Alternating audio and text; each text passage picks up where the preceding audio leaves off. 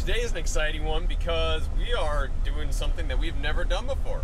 Uh, we are planting organic peas. Now this is the first time ever and we're not planting them ourselves. We did hire someone else to do it that's had a lot of experience doing it.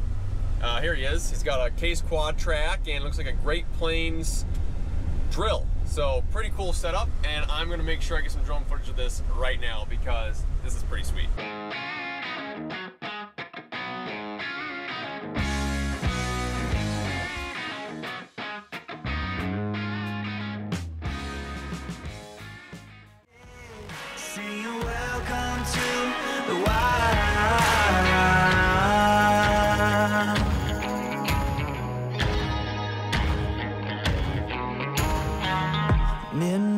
On Mulholland Drive.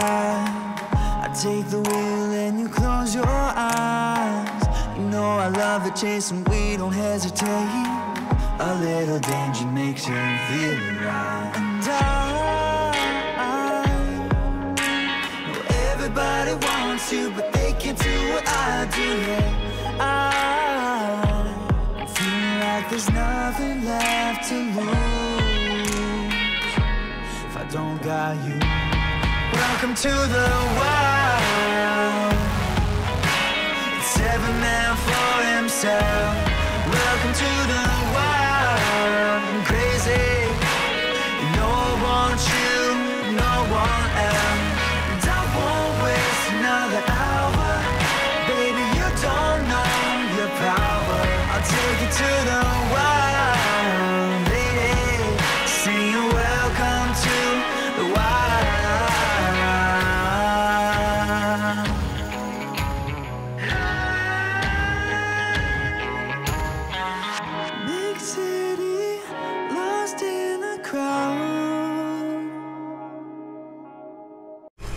It's actually the next day from the drone footage you guys just saw of the peas being planted. And last night, my dad and I did the end rows of the organic soybeans. So this field is split in half, half organic peas and half organic soybeans. These pink flags right here are the line. Sadly, you guys missed the organic corn planting because I missed it. I was gone for the weekend and my dad and my brother uh, planted all the organic corn. But I've never seen a pea seed. I'm guessing it just looks like a pea, but just kind of want to dig one up here. I'm guessing that's it. Found it in there. Kind of a weird looking, not exactly looking like a pea, but I don't know. He did get it down to moisture though. That's why we hired someone else to do it because we just didn't know what to do about planting peas. We don't own a drill. We probably could have got one, but you know, just this guy, he plants a lot of peas for the cannery that we are doing the peas for. And he just knows what he's doing. He came here, he did it, he was done in like three or four hours. It was very nice. But with the soybeans and well, the peas for that matter, uh, we did have a bunch of rain here about a week and a half ago. So there's still moisture underneath the ground, but it's like two inches deep. So we're having to plant our soybeans fairly deep to hit that moisture because it the forecast looks very, very dry for about the next month.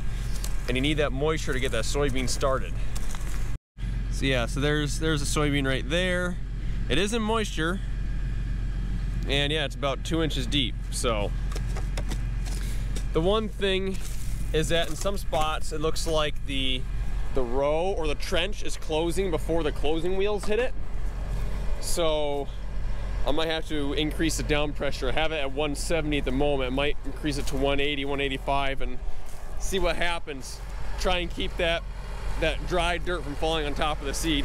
So the reason that we planted these end rows a day earlier and not on video was simply because planting organic stuff is kind of a different process than planting regular stuff. Just the fact that like doing headlands and end rows and stuff on a conventional field, why are all these motors in recovery mode? I'm not even planting. Anyways, in a normal field, you know, if you have some rows that kind of like do some weird stuff or whatever, doesn't really matter because the sprayer boom's just gonna hang over it and spray it anyways, and the combine's just gonna go right through it. Organic, you can't have any rows crisscrossing or coming close together or wide apart or different angles because you have a 60 foot cultivator behind you. And if it's not perfect, you are taking out crops. So my dad was just helping me kind of, you know, learn how to plant organic end rows so everything's square and makes sense. So that was, that's the reason why I didn't film it, because I was just trying to pay attention and do the best that I could. Failed brush motor alignment. It was working fine yesterday. What in the heck's going on?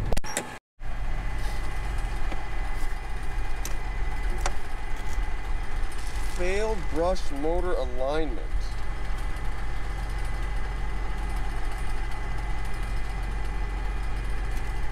I don't know, looks fine to me. Seeds are coming out. I think I'm just gonna try and plant. See what happens. Sometimes when you first start it up and you start running these tests, everything freaks out and you start planting and it's fine. So, I don't know. Well, I'd say by the look of that, that row four is not planting. Okay, well, I'll loosen this bowl one notch. I don't know. Everything seems to be spinning fine to me. I don't know why it's saying that the motor's not turning it. It was working fine yesterday when I parked it. Nothing's changed. Well, at least this is happening in the last field of the year, not the first. Well, it was still giving me fit, so I turned the tractor off, turned it back on, and now it's happy as can be. First time that's happened. Okay, I'm just gonna dig a couple rows quick, see how it's doing. Usually I do the left side of the planter. Let's go to the right. So I up that down pressure up, but change nothing else. I mean, that's in wet dirt. There was just one right here somewhere. That's in wet dirt. That's in wet dirt. I think we're okay. Plant a little bit further and maybe call the agronomist out just to have him double check my my job here. Okay, that was the end of the first fill up. Actually, there's a little bit more left in there. I don't know if I could have made it another round or not. But uh, I got semis I'm about to go by. I gotta wait for them. These are massive soybeans, really heavy. And, the, and we can't use any like talc or anything because it's not organic certified.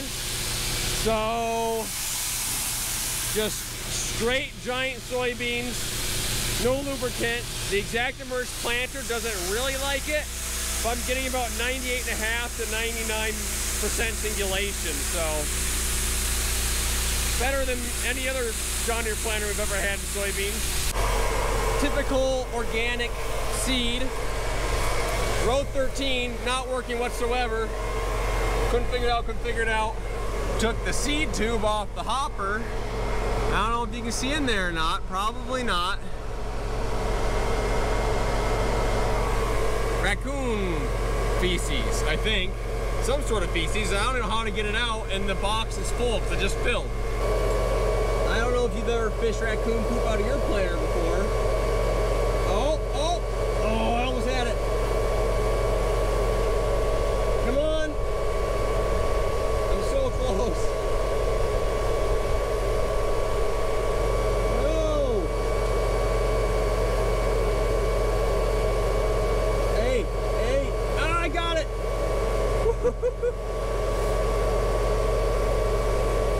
when I first put I'm like, I'm probably never gonna need this.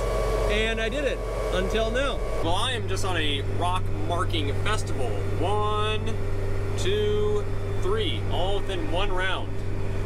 Good thing we actually got the skid steer on this field. So after I finish this, I'll have to buzz out there and skid steer and grab those quick.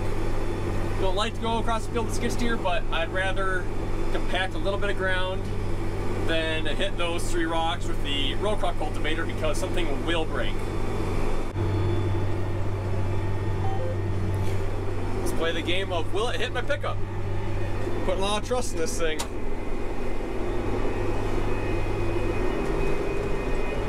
Oh yeah. Right between the passes, we're good.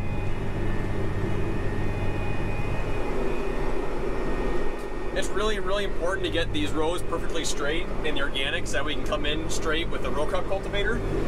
So right here, the planter is zero inches off, start planting. So that's, so normally there's, like a little light bar on these steering systems.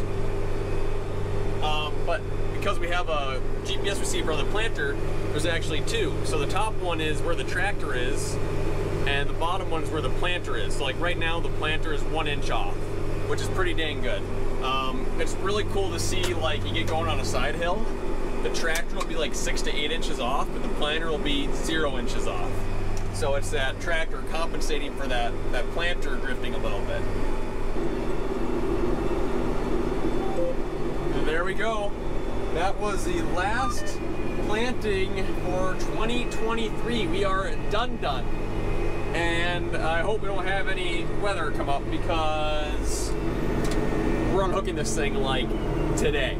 Because I need this monitor for the organic cultivator and organic drag. Go in here and purge the units so that way there's no seed in them. There we go. It just purges the belts. There's still there's still seed in the units, but at least the belts are clear. That's the important part. Inflate the tires one last time. PTG CTIS system has been very, very good this year.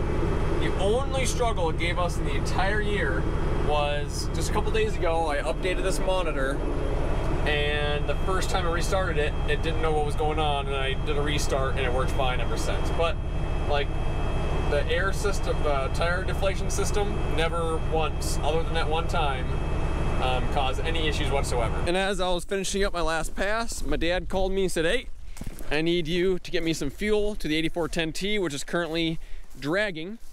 So luckily, the fuel trailer is at our neighbor's house right there. So park the tractor for now, I'll come back and get that later. We'll get it cleaned out, blown off, washed off. But before we do that, we gotta get some of this organic weed control moving. Otherwise, our corn is coming up great. Look at how good the spacing is on this ExactEmerge planter. And this is in the end rows.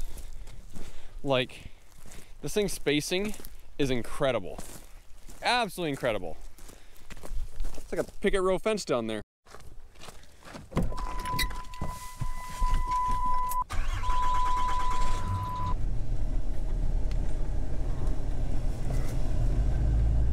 Can I snake past there? Oh yeah. Yeah, we're good.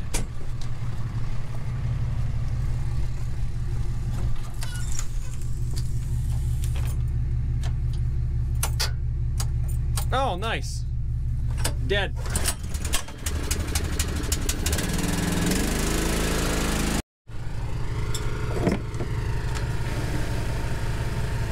You're about done. You just got a little bit in that end yet. Yeah, I don't know. I'm hope it'll get any wind. It's gonna blow. That's one thing we struggle with is with organic. You know, around here it does not work to do no-till conventional, let alone organic. So we have to do tillage and that's our only source of weed control. So it's a balance of keeping the weeds down and doing too much tillage. Although this little drag does a beautiful job.